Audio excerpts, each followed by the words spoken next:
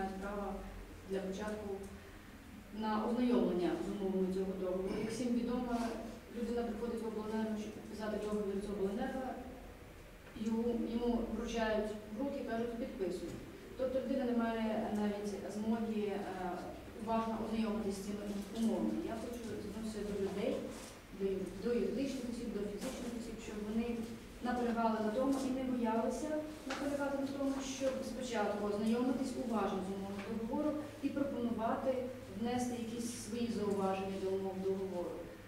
Е, і не боялися просити достатньо часу для цього, тобто вони мають право на консультацію з юристом, оскільки навіть я читаю умови договору з першого разу, я не розумію їхні умови, що в мене є такий стаж е, юридичної практики, а людина тим більше нічого не розуміє.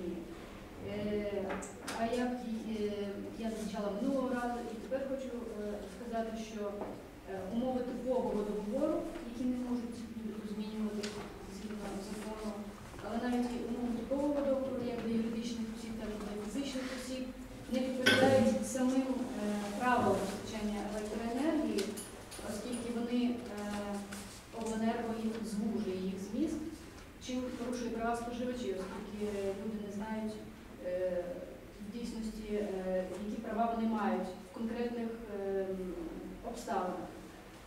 Е, А також, крім того, що е, умови типового договору не відповідають правилам постачання електричної енергії, а вони ще а правила е, постачання електричної енергії не відповідають закону України, який є найважливішим про надання житлово-комунальних послуг, де також визначено. Тобто у трьох нормативних документах визначено права та обов'язки споживача і постачальника електроенергії, і всі вони різняться. Це є порушення прав споживача. Тому е, треба ініціювати, вносити і уточняти, вносити зміни до, відповідних законів. Треба їх привести насамперед у відповідність один до одного, оскільки в трьох нормативних документах різні, взагалі всі різні умови. А про договір взагалі я мовчу тоді. Е, значить, е, хочу мені надали на ознайомлення договір, наприклад, з ОСББ. Це також є важливим питанням, оскільки є договори з юридичними особами, є просто з фізичними особами, є у нас третій з'явилася особа, це ОСББ. Е, Їх, е, їм пропонують підписання такі договори, як, які е, регулюються нормами закону для юридичних осіб, але ОСББ це лише як представницький орган. Хто є споживачем електроенергії в ОСББ? Це фізичні особи. Тому е, догов- договір має бути розроблений саме для фізичних осіб і пропонуватися для підписання для фізичних осіб. Не в порядку передоплати як для юридичних, і зовсім там інші умови для мають бути передбачені як для населення. І це є ну, досить важливим таким порушенням прав е, людей, які проживають в будинках, які об'єдналися в ОСББ. Ну, є вже звичайно позитиви в зв'язку з тим, що підприємці, які мали проблеми, проблема, яка існувала ще з 2012 року. Ну, зокрема, по Кисманському районі підприємець Калараш Іван Васильович вже підключення йому зробили підстанції, яку він міняв. Ну, є там ще деякі є питання, але я думаю, що ближчим часом це питання будуть урегульовані. Я мав розмову з Андрієм Олександровичем Хромкіном. От, е, планую ще поспілкуватися з технічним директором паном Козанем Богданом Євста- Євстаховичем, який теж запевняв мене вже не раз, що добре, ми це все питання вирішимо. Тому я вважаю, що в цьому напрямку десь є якісь позитиви. У майбутньому я думаю, що е, ми десь знайдемо можливість, або верніше пан Шикета, керівник е, голова правління обленерго, знайде можливість, ми сядемо за круглий стіл, поспілкуємося. Бо ми не є сторона е, якихось таких безпорядків. Ми маємо напрямок один. Ми хочемо урегулювати всі проблемні питання, які в нас на сьогоднішній день на Буковині існують. Тому що є ряд е, питань з боку фізичних осіб, так само незрозумілі є дії, коли лічильники міняють, е, потім у нас в два рази, три рази збільшується кількість. Коли людина не має можливості звернутися у державну установу держстандарту, перевірити е, свій лічильник, це все е, робиться лише у приватній структурі ПАД «Обленерго». От ці питання всі треба буде урегулювати у майбутньому, щоб ні в кого не виникало якихось сумнівів про те, що десь хтось там е, обчислює, там е, займається якимись шахрайськими незрозумілими діями. Я хочу сказати, щоб вирішити проблеми з Чернівці обленерго, треба, щоб представники обленерго хоча б нас вислухали.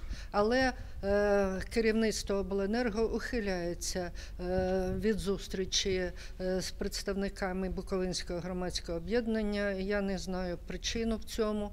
Е, і це е, накладає свій відбиток у наших взаємовідносинах.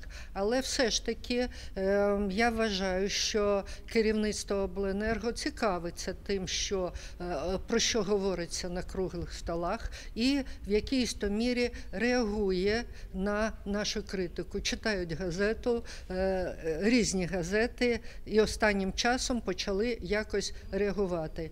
Позитивом являється те, що ем, в приміщенні Чернівецького РЕМ, наприклад, не знаю, як в районних ремах, але в приміщенні з'явилась вже об'ява, яка розповідає, що існує інформаційно-консультативний центр, функції та задачі цього центру. Е, Це дуже, я вважаю цю структуру, е, цей центр дуже е, важливою. Це додаткова сходинка для споживачів для вирішення тих проблем спірних і конфліктних питань, які виникають у взаємостосунках з представниками ремів. І перед тим як зверта- звертатись зі скаргою е, в контролюючі органи. е, Споживачу надається можливість мирним шляхом вирішити конфліктне або спірне питання в цьому ем, ІКЦ, як вони називають, інформаційно-консультативному центрі,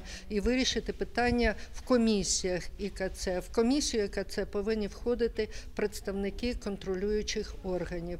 Е, З'явилася інформація нарешті про ціни роботи та послуги, е, які надає обленерго.